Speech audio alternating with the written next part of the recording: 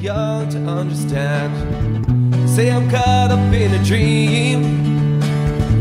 Life will pass me by if I don't open up my eyes. Well, that's fine by me. So wake me up.